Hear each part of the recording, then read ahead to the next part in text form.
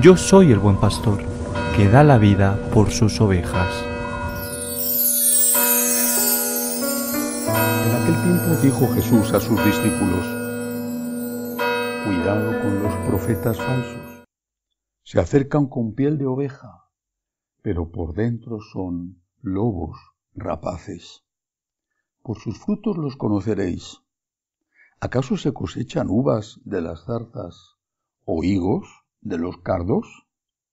Así todo árbol sano da frutos buenos, pero el árbol dañado da frutos malos.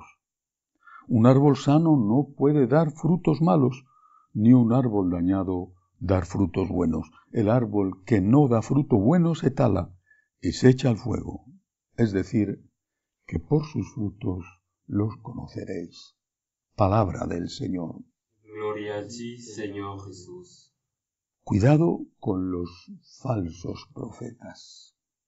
Parecen mansos corderos y dice Jesús que por dentro son lobos rapaces. Pero ¿cómo los podemos distinguir? ¿Cómo podemos saber si un pastor es un verdadero pastor según el corazón de Jesús o es un pastor según el demonio? No juzgo a la persona. Eso solo lo puede hacer Dios porque esa persona puede estar convencida de que sus malas enseñanzas son buenas y está dando gloria a Dios. Pero está conduciendo a sus feligreses al abismo. ¿Cómo podemos saber qué regla hay para discernir si ese pastor es un buen pastor o es un mal pastor? Cuando uno tiene formación es más fácil distinguirlo. Tienes formación, eh, sabes lo que dice el catecismo, sabes lo que enseña la iglesia y te encuentras con que ese pastor te está diciendo, la iglesia dice que esto está mal, pero yo te digo que eso está bien. La iglesia dice que no puedes comulgar, pero yo te digo que puedes comulgar. Entonces, eh, tienes formación en saber distinguir y dices, no, no, ese es un mal pastor, es un falso profeta, es un lobo rapaz. Pero cuando no tienes formación, ¿qué es lo que le sucede a la inmensísima mayoría de los católicos, por supuesto, también de los católicos practicantes? Cuando no tienes suficiente formación y vas a misa y escuchas lo que dice el sacerdote, que es agradable a tus oídos, que entra hasta dentro y que cuando ha entrado ya te ha hecho el daño, que es un veneno que se mete en tu sangre, se mete en tu conciencia y te va pervirtiendo por dentro, porque además coincide con lo que el mundo te dice. El pastor te está diciendo lo mismo que lo que dice el mundo, es algo que te agrada y que después te lleva, como dice el Señor, a la perdición. ¿Qué criterio puede haber? Creo que hay uno que debería de servir para todos nosotros, incluso para los que no tienen formación. Me parece un criterio además muy sencillo. A continuación dice el Señor, por sus frutos los conoceréis. Esa enseñanza te ayuda a dar frutos buenos los frutos buenos son los frutos del amor, los frutos de la caridad, pero no del amor al modo del mundo, sino del amor al modo de Jesús, es decir, de un amor con sacrificio, de un amor con generosidad, de un amor que implica la renuncia a ti mismo. Esos consejos que te da el mal pastor están ayudándote a ser mejor a controlarte a ti mismo? Recuerdo hace un tiempo una mamá franciscana de María de Alemania me contaba que eh, tenía una hija adolescente, ahora ya será una hija joven, menor de edad todavía, y que ella le enseñaba a su hija que debía tener cuidado en no tener relaciones sexuales eh, antes del matrimonio porque la podía hacer mucho daño. Y que un día la adolescente volvió de la parroquia y habló así a su madre. He hablado con el pastor, el párroco, Alemania. El párroco me ha dicho que puedo hacer lo que quiera, que no es nada malo, que me puedo acostar con quien quiera las veces que quiera, que eso no es nada malo.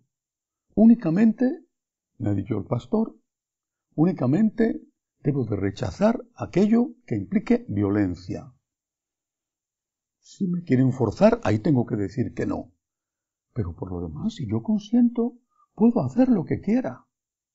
Está adolescente, me imagino que con su cuerpo alterado por las hormonas, escuchó lo que el pastor le decía llena de alegría y se enfrentó con su madre. Mamá, tú eres muy antigua. Fíjate tú lo que me dice el sacerdote. ¿Es que acaso no sabe el sacerdote más que tú? Mamá, por favor, tú estás aquí oprimiéndome, mientras que la iglesia es liberadora y me dice que dé gusto y satisfacción a mi cuerpo, que haga lo que quiera. ¿Eso produce frutos buenos? Esa muchacha no sé qué hizo. La madre me lo contó en su momento angustiada, muy preocupada. No sé qué hizo, no sé qué ha hecho, no sé qué está haciendo. Pero si hubiera seguido los consejos de ese lobo feroz, lobo rapaz, como dice el Señor, de ese mal pastor, ¿qué habría sucedido? Si el pastor, el párroco, el catequista te dice, no pasa nada con la pornografía, no pasa nada, ¿eso te libera? ¿Eso te ayuda? ¿Eso te hace dueño de ti mismo? ¿O eso te esclaviza? Si te dice, haz lo que quieras con tu cuerpo, no pasa nada. Relaciones sexuales con quien quieras, las veces que quieras, no pasa nada. Importante es que tengas placer. ¿Eso te libera? ¿Te hace dueño de ti? ¿O te somete cada vez más al imperio de la carne. San Pablo, que vivía, que había nacido en un mundo pagano, había nacido en una ciudad romana como era Tarso, que conocía muy bien el mundo pagano, decía, hablando de los paganos, su Dios es su vientre y su gloria sus vergüenzas, y se refería al sexo. Estamos haciendo una sociedad de personas esclavas, y no solamente del sexo, también del placer, el vientre, que decía eh, San Pablo. Estamos haciendo una sociedad de personas que no son capaces de sacrificarse, en el fondo, que no son capaces de amar, porque amar implica renuncia, implica generosidad, implica esfuerzo, y eso no es fácil.